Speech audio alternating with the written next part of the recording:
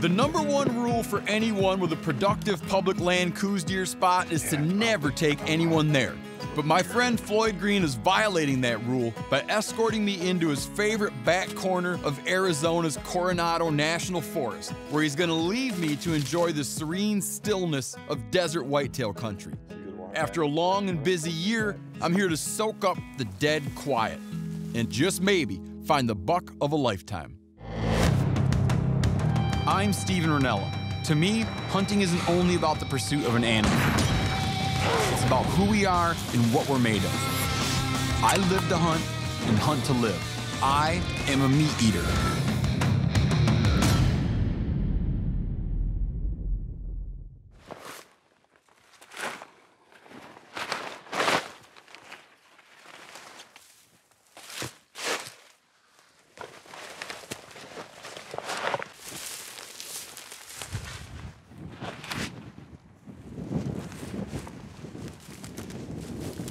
It's December right now. And all fall, I've been looking forward to just sitting here by myself in the quiet of the desert glassing for Coues deer. It's just, this is one of the most beautiful, quiet, pleasant places to be. This year I've spent so much time getting hammered by weather or people's expectations and other people's hopes about hunts we were on. And I just wanted all along just to be like sitting here enjoying this place where it's just quiet and like nice. And you're looking for these mysterious little deer out on the landscape that are best found through glassing, best found through looking rather than walking. This kind of hunt, to hunt desert whitetails or Coues deer, is like one of the unsung hunts that this country has to offer. People always want to go for mule deer, they want to go for elk, which is great. But getting tags to hunt Coues deer is easy. You can get one every year. And there's a lot of ground. There's a lot of deer. It's just like, I just can't believe more people aren't into it. But right now, I'm glad they're not because I just want to sit and look for deer and think. And this is kind of the perfect place just to clear your head.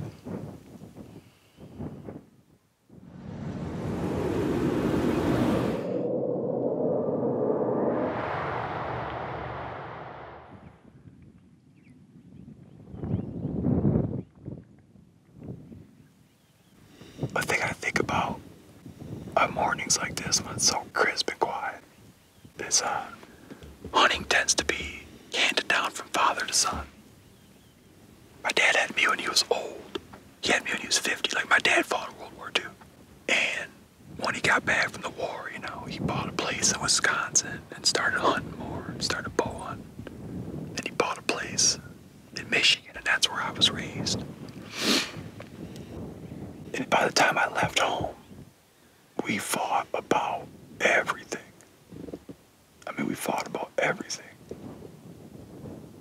And I remember I was living in Montana, and it was late spring, and I just got back from picking a bunch of morels, and I had the morels. I was living in this basement, and I had all my morels out drying in the sun on window screens.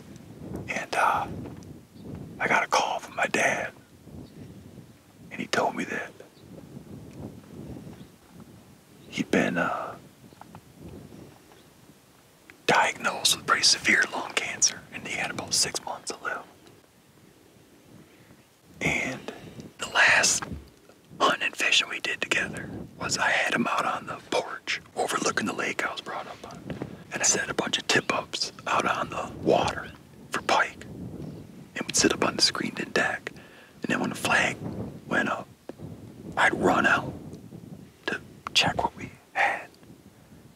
And when I'd come back, he was so uh, he was kind of out of it. And he would kind of have forgotten that we were even fishing, you know? Like he'd fall asleep and wake up and it was all a haze. And it wasn't a few days after that that we were giving him uh,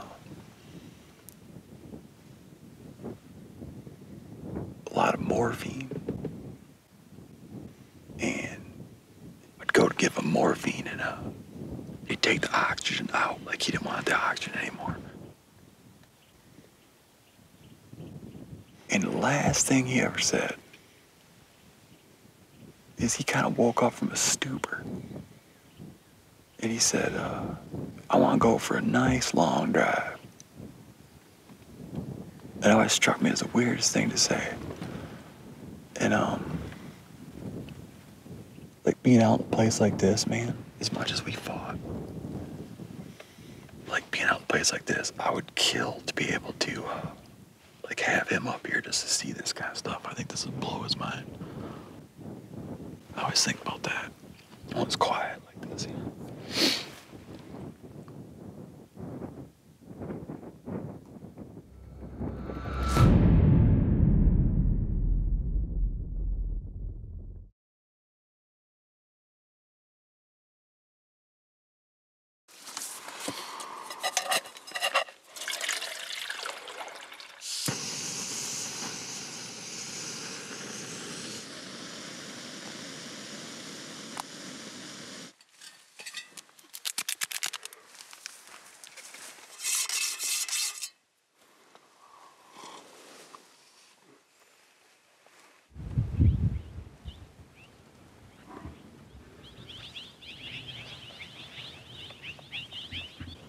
that sun is gonna do just what I was hoping it would do. Light up the hillside. The deer just pop, you know, the sun shines on it. This is probably my best opportunity yet where there's a buck at the base of that volcano shaped peak up there. I feel like I'm gonna I feel like I'm not gonna go after that buck. Because here's the deal.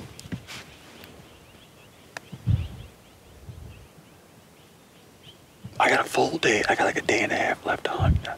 I feel like I might invest a ton of time in that buck and like there's a lot that could go wrong. Trying to go up and get that buck. Oh man, I can't. s-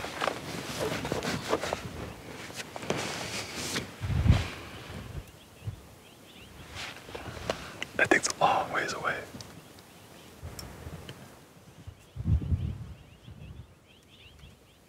One thing I'm worried about is just bumping deer. They're gonna spook and carry that buck off with them. That's one thing. The other thing is, it's so far away. and Stuff never looks like what you think it's gonna look like. And getting up there and knowing you're in the right spot, but then not being able to find the buck.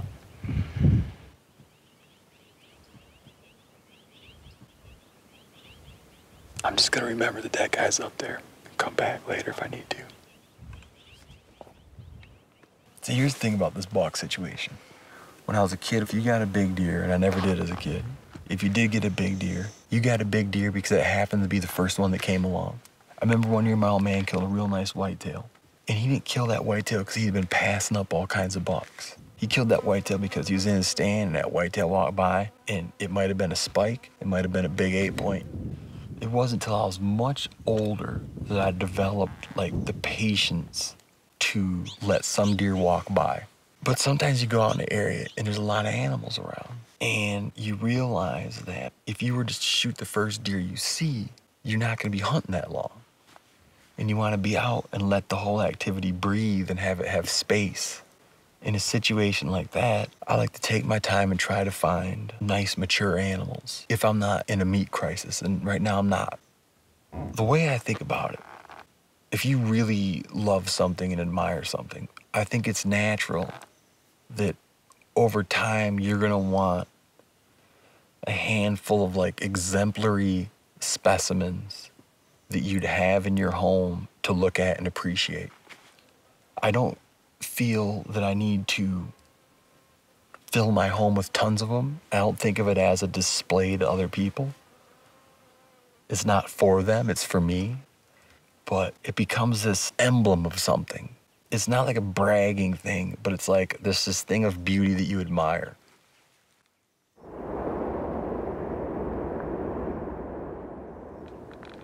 There was an explorer who spent a lot of time with Eskimo hunters. And he was saying how when they killed a polar bear, they would bring the polar bear's head home and they would offer it pieces of meat. What they explained to him was the bear would realize that the hunter was a good guy. He was okay. And he would explain to other bears, like to the bear spirits, he would explain to the bear spirits that if you're gonna have to get killed by someone, that's not a bad guy to kill you. I believe that showing respect to animals and appreciating their attributes makes you a better hunter. So trophy hunting is like, and as much I hate the term, because I think the implication is that you don't care about any other part of the animal. If I was to shoot a big buck and someone came along and said, you can walk out of here with that head or that body, I would absolutely take the body because I think it would be a form of sin to take to make the other decision, a, a sin against the land, you know. But if I can have the head and the body, that's a good deal.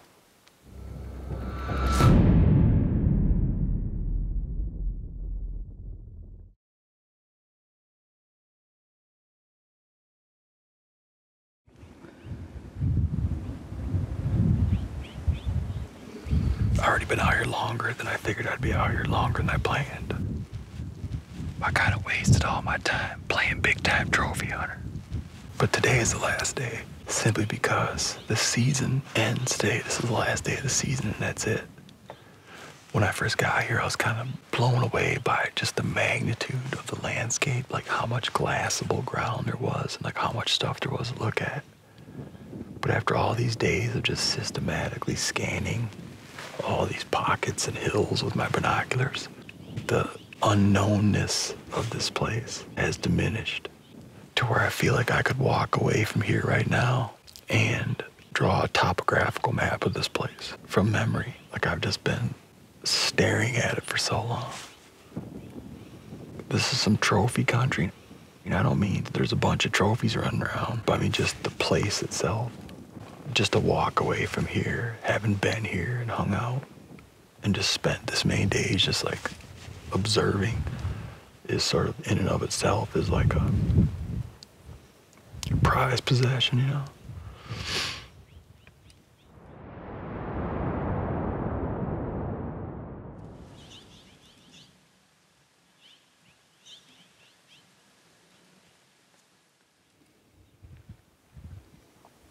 There's a bedded down deer. That's a buck. See, I'm telling you, man, that sunlight hits and deer just blow up.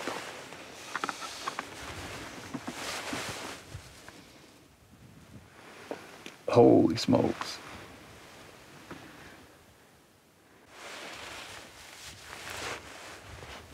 That's the biggest, that's a dandy, a dandy, dandy buck. That's the biggest buck we've seen this trip. Just a bedded. God, that's a nice buck. All right. Well, that's what I'm gonna do today. I need to get up into that rock, and I think I'll be in shooting range of that buck.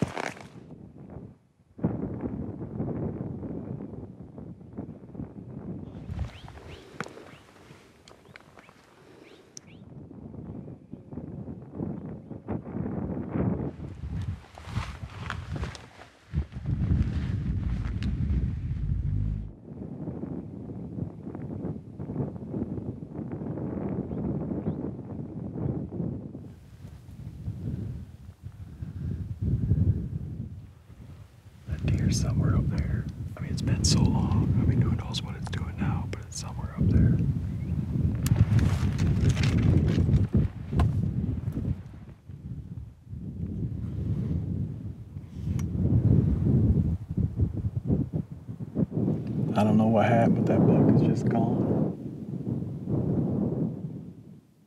I mean, the wind's kind of bad, but we're still pretty far away, but he's just not bedded where he was bedded. A lot of time goes by, and who knows what happens.